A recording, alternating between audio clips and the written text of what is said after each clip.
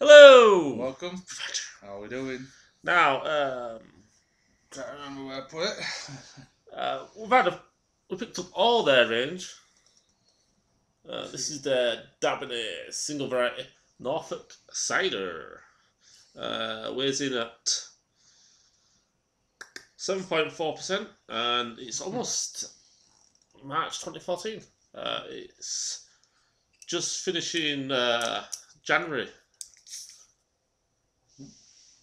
Yeah, or just checking.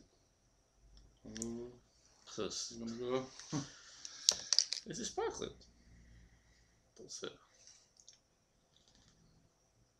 Uh, no, it just gives the general information. Mm. Uh, we'll all, they all say the same thing.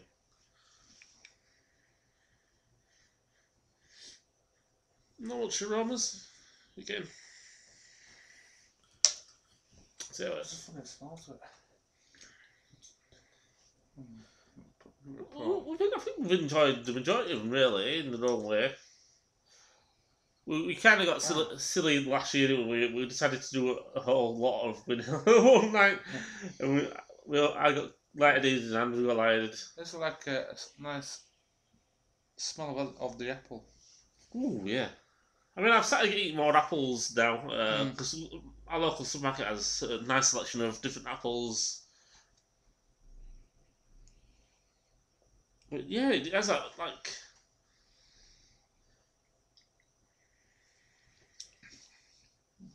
Mm, it's quite nice that. Very apple.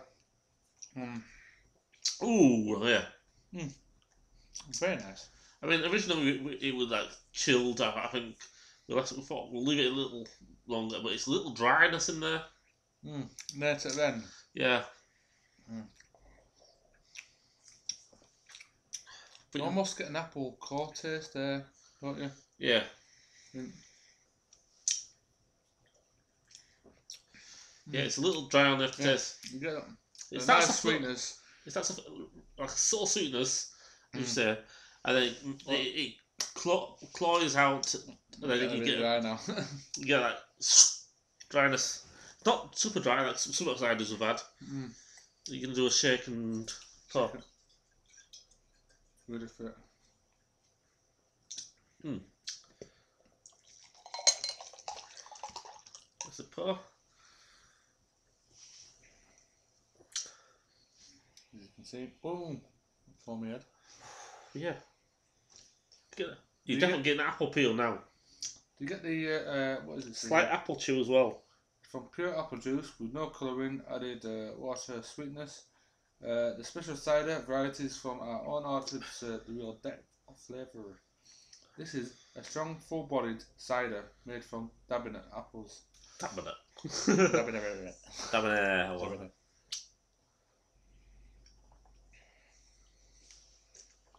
It's almost got a floral a- aroma to it. Mm. Oh, it's a lot better now. Ooh, it's yeah, it's a little bit more fluid. It's Yeah. easy on the palate. Oh, before that's before better. it was uh, now Yeah. it's Yeah, you just need a Yorkshire, Yorkshire uh, Shepherd.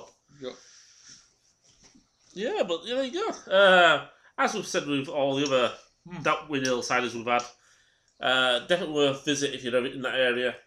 And it's, it's It is quite dry in it, and yeah, but super soft. yeah.